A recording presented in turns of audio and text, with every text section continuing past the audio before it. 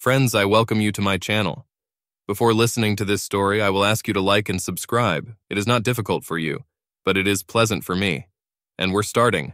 I was sitting in her office, staring at the report. There is no doubt Julianne has been cheating on me and has been doing it for quite some time. My suspicions arose that evening. She was drunk. Julianne doesn't drink often, but we went to the neighbor's house for a party they were throwing. Their son returned from the Navy and proposed to his girlfriend. There was a lot of fun, and we both drank more than we should have. None of us were completely drunk, but we were having a lot of fun. And when we got home, I was a little excited, to say the least.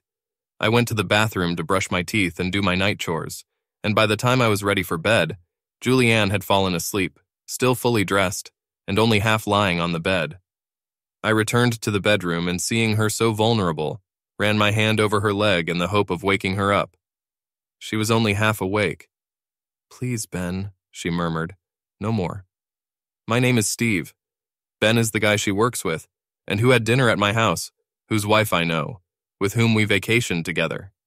Suddenly I was completely sober. I've been thinking all night. Isn't this just a Freudian blunder?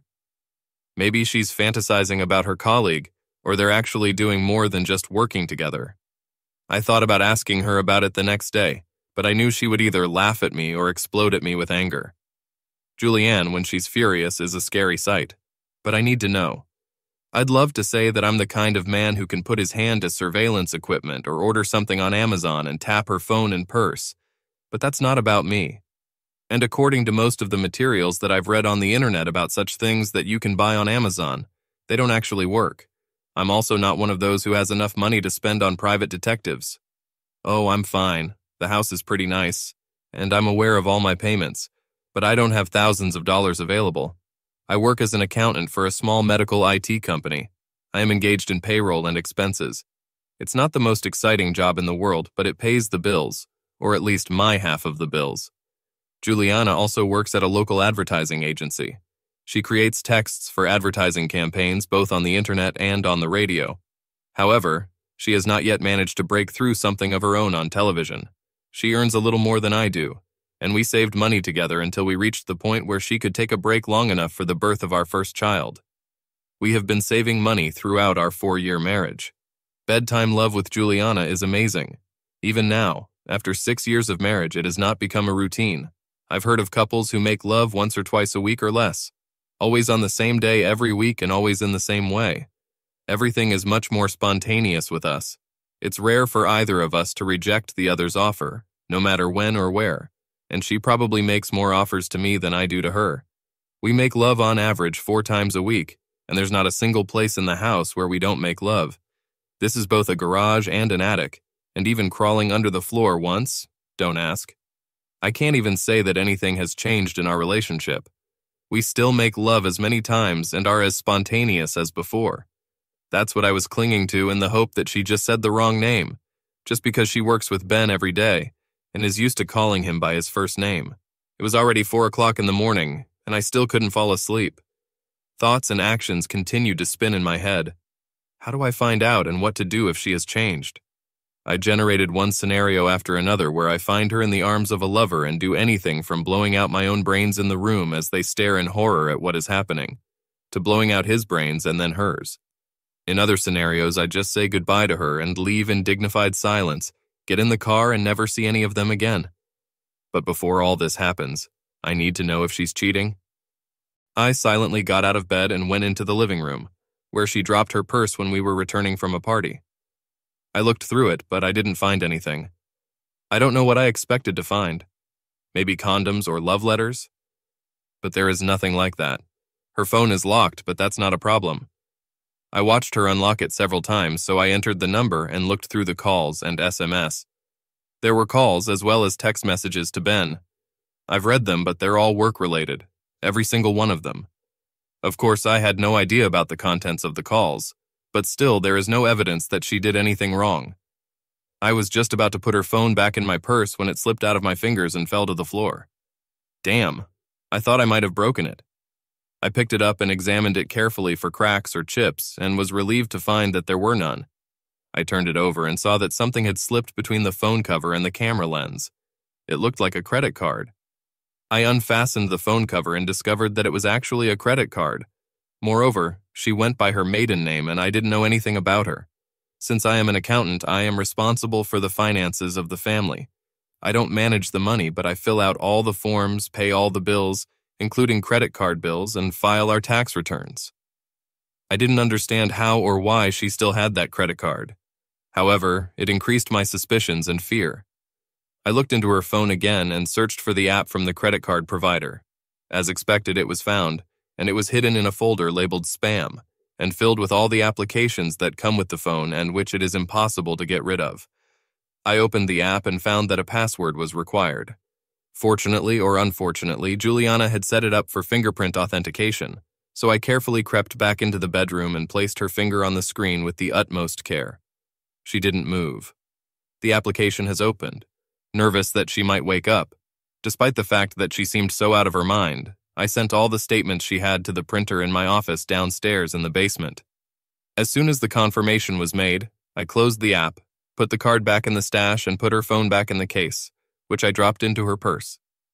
After looking into the bedroom once more, I went down to my office and took the extracts from the printer.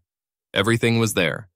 Transactions were conducted twice a week, on Monday and Thursday, usually around 3 o'clock in the afternoon. $45 from the motel chain. There was the name of the network and the branch number. 10 minutes on the internet told me that the motel is six blocks from the office where she works, so she visits the motel twice a week. Despite the fact that it is quite obvious why she visits the motel, I tried to think of other reasons why she might go there. Maybe they have some kind of conference rooms there and she receives clients there. I laughed at myself. I'm grasping at straws. But even so, I wouldn't have believed it until I saw it with my own eyes. I looked at the reports again and found that these visits started about a month ago. A wave of nausea suddenly hit me, and I barely made it to the bathroom before I threw up. I was on my knees on the floor and spitting into the basin when Julianne came in and bent down to pat me on the back. Have you had too much to drink? What is it? She asked. Me too. Can I get you anything? I shook my head, still clutching the papers in my hands and clutching them to my chest, desperately wishing she wouldn't see them. I just need some time, I said. Go back to bed. I'll be there in a minute. All right, she said sleepily. She bent down again and kissed the back of my head. I hit my forehead on the toilet seat when I pulled away from her, but she didn't seem to notice anything. I stayed in the bathroom for another 15 minutes until the nausea passed, and then returned to my office and hid the statements among other papers. I knew that Julianne would never find them by chance. She almost never comes into my office, although I used her more than once, bending over my desk. As far as I know, she never goes in there when I'm not at home. Although, what do I know? As far as I know, she's a faithful and devoted wife. I went back to the living room, but I couldn't bring myself to go to the bedroom. Instead, I sat down on the couch and stared at the wall, thinking.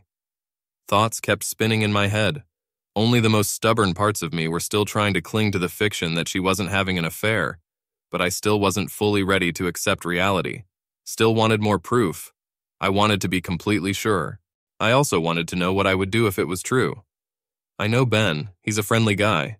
He was in the Air Force, about 15 centimeters taller than me, and I have no doubt he could wipe the floor with me if he wanted to. I will like his wife Mary very much. She was a happy woman. She always seemed to be smiling, and their three-year-old Tabitha was a pleasure. She's been calling me Uncle Stay ever since I've known her. Of course it's a divorce. That would mean that we would both lose. The house will have to be sold. The proceeds will have to be divided, each of us has our own retirement accounts, and hers is a little more than mine, since she earns more. Since we do not have children, I could find myself in an enviable position, because I will come out of a divorce better than most men. I doubted that the court would award me alimony, but I was sure that they would not award it to her either. From a financial point of view, the only ones who benefit from divorce are lawyers. I decided to go online and see how easy it is to get divorced by myself Maybe if Julianne doesn't fight back, we'll come out of this pretty unscathed, at least financially. Is divorce what I want? No, God, no, I love Juliana with everything I have. But I can't stay with someone who didn't love me back. I would literally take a bullet for her. That's how much I love her. I doubt, however, that it is the same in the other direction. She's taking something, but they're not shooting at her with bullets. I felt another wave of nausea, but it passed after a couple of deep breaths. I decided to look on the internet about divorces, and then quickly fell asleep. Julianne woke me up with a glass of water and a couple of Tylenol tablets. How are you feeling?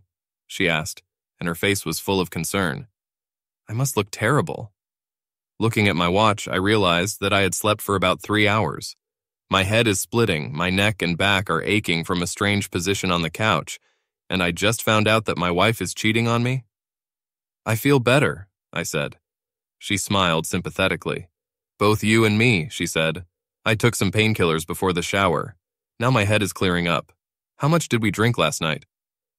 Too much, I said, trying my best not to burst into tears and start yelling at her. Go take a shower, she said. You'll feel much better after that. I doubted it very much. I drank the pills and all the water, got up heavily and limped into the bedroom. I threw my clothes on the floor and got into the shower. I could have put my clothes in the basket, Julianne complained, going into the bathroom and picking up the clothes I had discarded.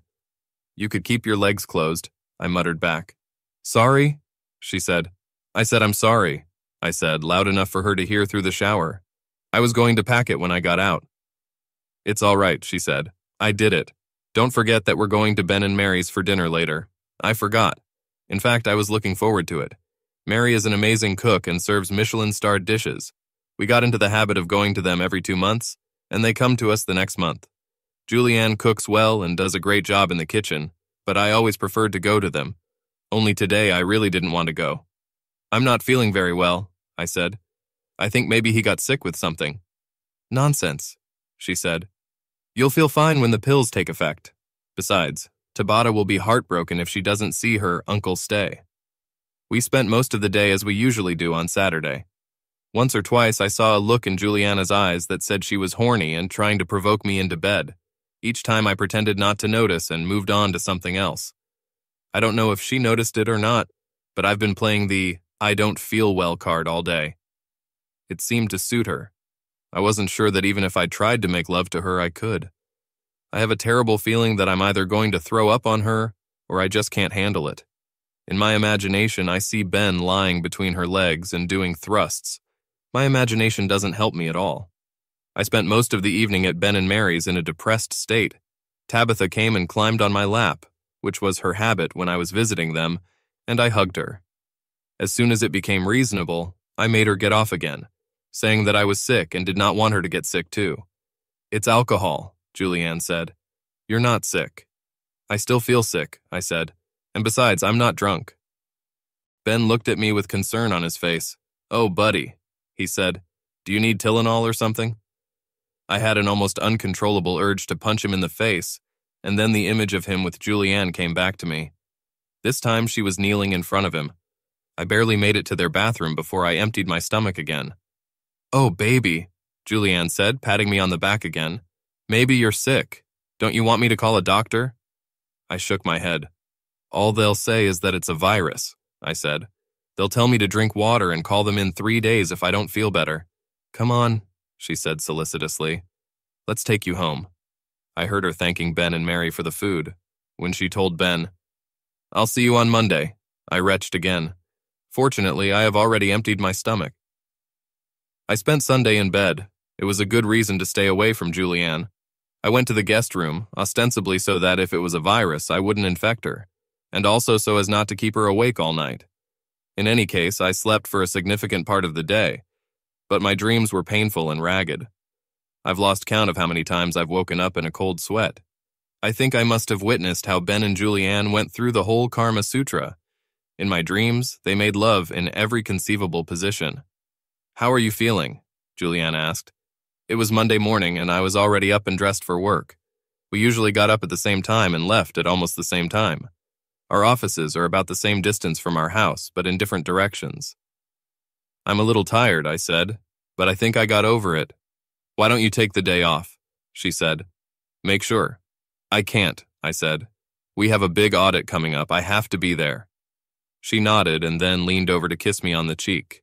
I tried my best not to pull away, and I succeeded. All right, she said. Let me know if you need anything. I'll see you tonight. I nodded, and we both got into our cars and drove off in different directions. I drove one block, turned the corner, and stopped. I called my boss and said I was sick and might not show up for a few days. All right, he said. If you're not here after Wednesday, call me again. I said I'd call and hung up.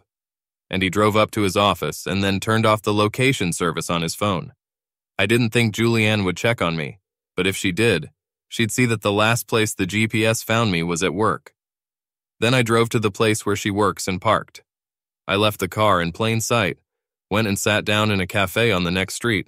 I brought my laptop and sat by the window as if doing work. I ordered coffee and a Danish pie.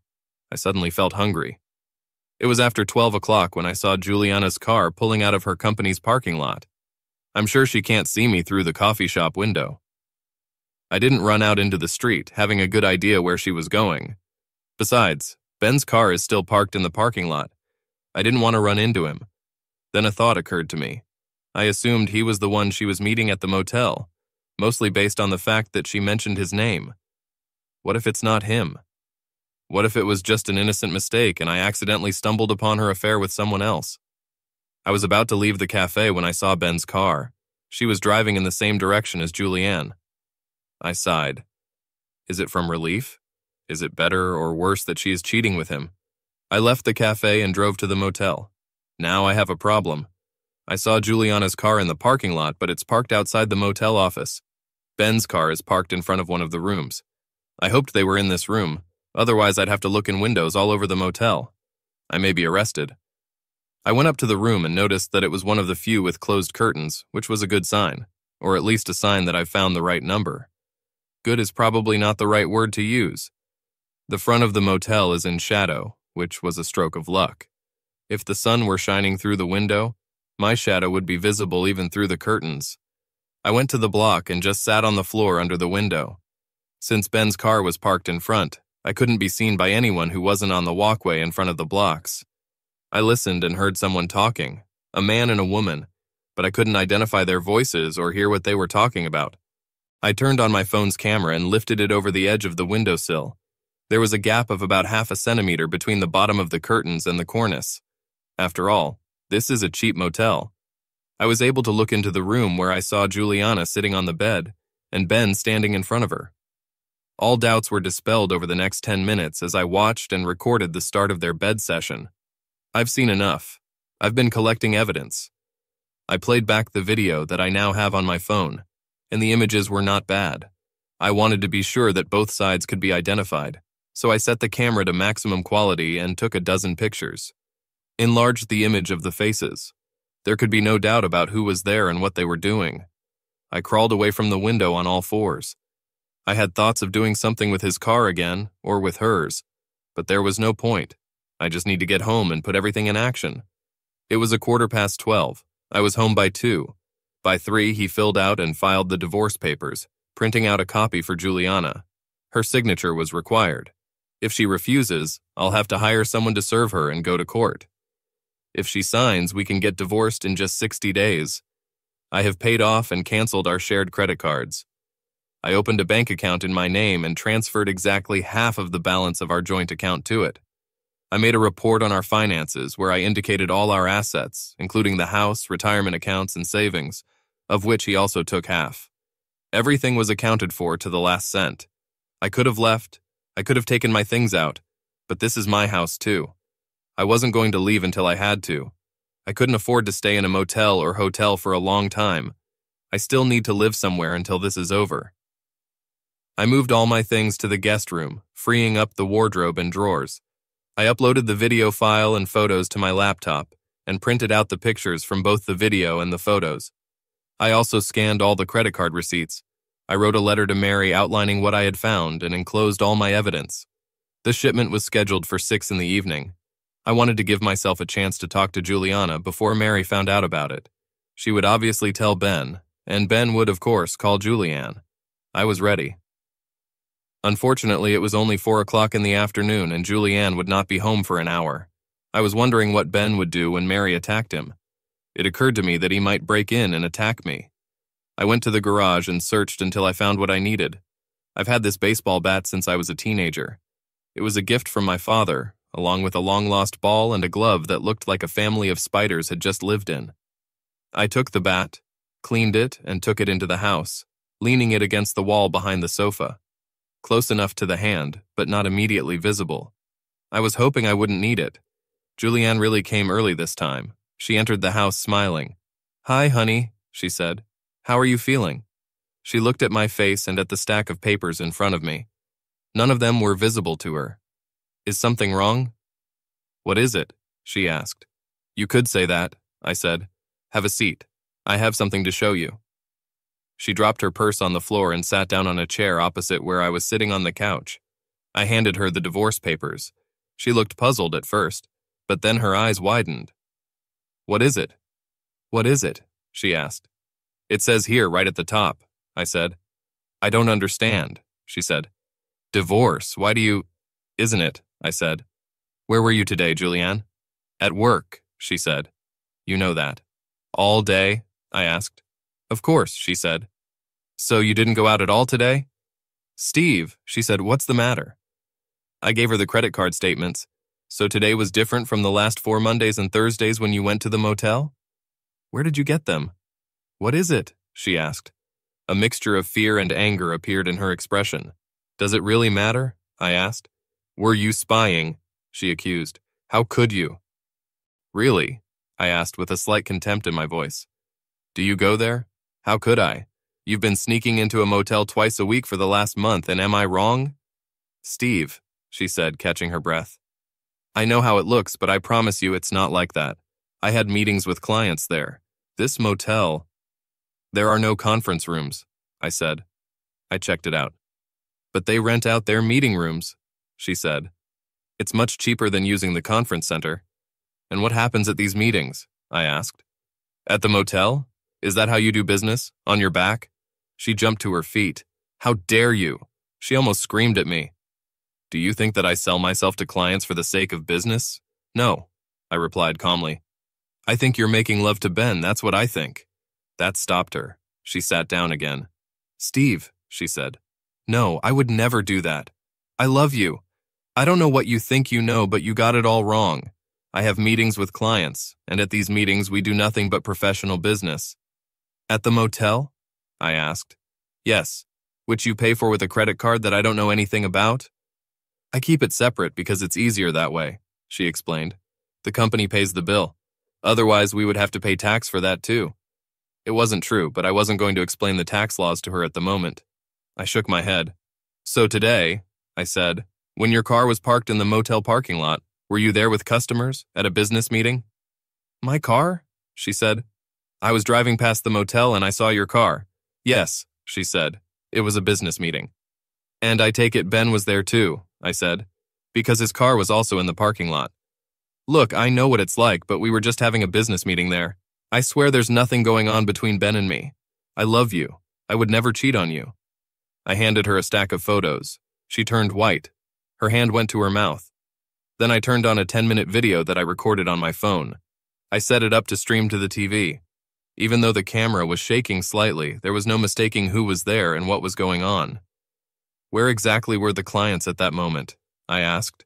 Tears began to flow from her eyes, and she started shaking her head. No, no, no, no, she said. This can't be happening. He promised that it couldn't be. It's over, Julianne, I said wearily. We're done. Sign the papers, we'll put the house up for sale, and in two months everything will be ready. Then you can go and date whoever you want. I'm going to go hide in a corner and try to regain some dignity. But he promised, she said. He said that everything would be fine with us. I looked at her, puzzled. Who promised? I asked. Ben, she said.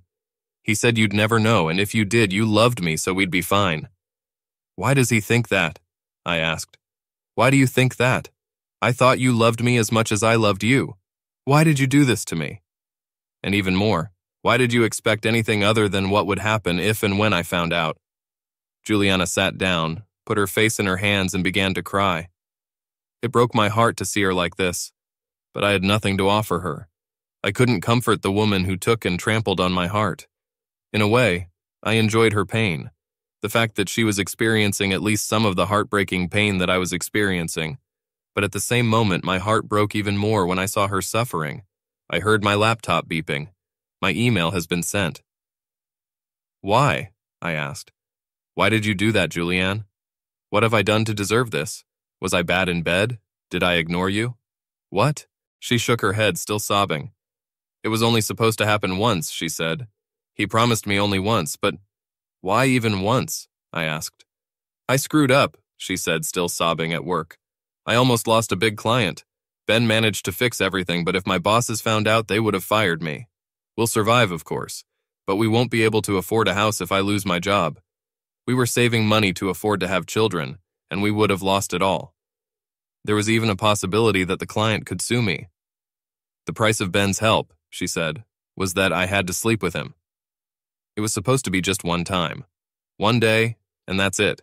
I didn't want to, but I had no choice. If he had shown my bosses what I had done, I would have been fired and we would have lost everything. Why didn't you come to me? I asked. Even if it meant selling the house, we could have done it. I couldn't, she said. There was no time. I didn't have time. I had to make a decision, give him an answer here and now. I was so confused, upset, and and I saw a possible way out. I convinced myself that it wouldn't hurt once you'd never know, and we'd be back on an even keel. Even if I believed you, I said, you've been seeing him twice a week for a month. Why keep coming back? He was blackmailing me, she said. The first time he shot a video, I didn't know there were cameras in the room. He said that if I didn't keep seeing him, he would show the video to you. What about Mary? I asked. Did she know? She shook her head. So he loses as much as you do if this gets out, I said. Do you expect me to believe that he would risk his own marriage to blackmail you? It's pointless. I'm sorry, Julianne, but I don't believe you. You volunteered to go to that motel room, and from what I saw on the screen, you were having a good time there. Now you're telling me that he was blackmailing you? No, I don't believe that. But it's true, she said. I had no choice. There's always a choice, I said. If you loved me, you would trust me and come to me. Even if I take the first time as a forced instant decision, you could come to me later and tell me. It would have hurt me. I would have been angry. But maybe I would have understood. I would do anything for you, Julianne. Anything. You destroyed me, destroyed my trust in you, destroyed my love. No, please, she said, sobbing harder. Give me a chance. Let me prove to you, show you how much I love you. It's too late. There's nothing you can do or say that would make me believe that you love me, that you've ever loved me at all. There was a crash, and our front door almost flew off its hinges. Ben was standing in the doorway looking at me. You little bitch, he growled. You had to get in my way, didn't you? What, Ben? asked Julianne. He sent photos and videos to Mary. She kicked me out. She's divorcing me, and it's all that snotty little shit's fault. No, Ben, Julianne said. It's all your fault. You forced me, you blackmailed me. Now your chickens have returned home. If you want to blame someone, look in the mirror. He reached behind his back and pulled out a gun, pointing it at me. You little bastard, he shouted and pulled the trigger. I still don't know what happened next. I heard Juliana scream and saw her jump up. She wasn't walking towards him trying to get a gun. Her goal was to get between Ben and me. I heard a shot and saw blood splatters when the bullet hit her in the chest. She fell like a sack of shit. Ben's eyes widened when he saw her fall, and he knelt down next to her. He barely had time to look up when the baseball bat that I took out from behind the couch hit him on the head. I went to the hospital with Juliana. She was unconscious. The bullet hit her just to the right of the center. She lost a lot of blood. I was sitting in the back seat of the ambulance and holding her hand, soaked in blood. When we arrived at the ambulance, she was taken out and everything happened very quickly. I was taken to the registry office where I had to specify the details of our insurance. By the time the paperwork was done, she had already been taken to the operating room. I sat in the waiting room looking at the floor, at my hands, at the bloodstains, and at my wedding ring, stained with Julianne's blood. I would take a bullet for her, the thought flashed through my mind. I remembered thinking that way when I first suspected her of cheating.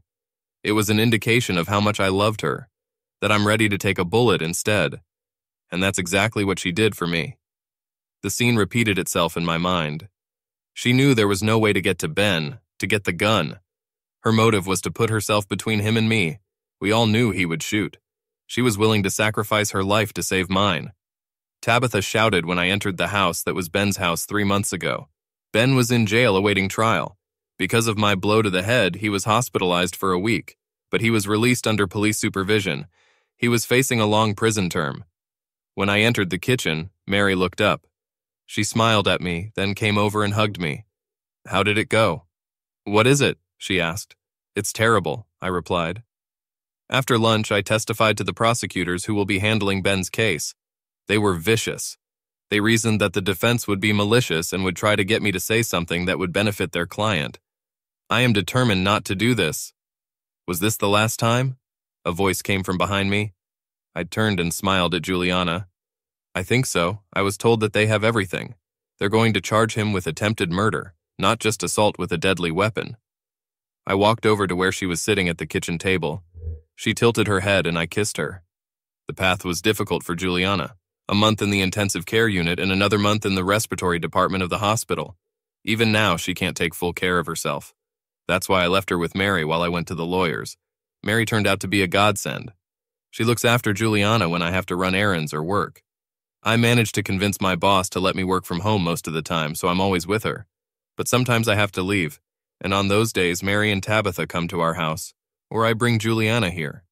It took me almost a month, while Julianne was unconscious on a ventilator, to decide what to do. Mary found a recording on Ben's phone of his first meeting with Juliana. When she showed it to me, I wanted to go and punch Ben's head with a baseball bat again. There were two files in his phone. One lasted about 10 minutes and showed Ben and Julianne making love, but the other, much longer one, showed her crying and begging him not to do it. It is as clear from the second file that she is being forced as from the first that she is there voluntarily. It was cleverly edited. So what Julianne said, at least about the first time, was true. And given the edited file, it can be assumed that she was telling the truth about the rest of the cases. But when it came down to it, the proof was that very moment. The moment Julianne threw herself into the bullets for me. The very measure that I myself used to show how much I love her. I couldn't ignore it. I'd like to think that it was that night that I whispered in her ear that I believed her, loved her, and that if she only woke up, we could be together again. I would like to think that this was a turning point. Until that moment, doctors were not sure if she would survive or not. I like to think that I gave her a reason to live, that just as she saved my life, I saved hers.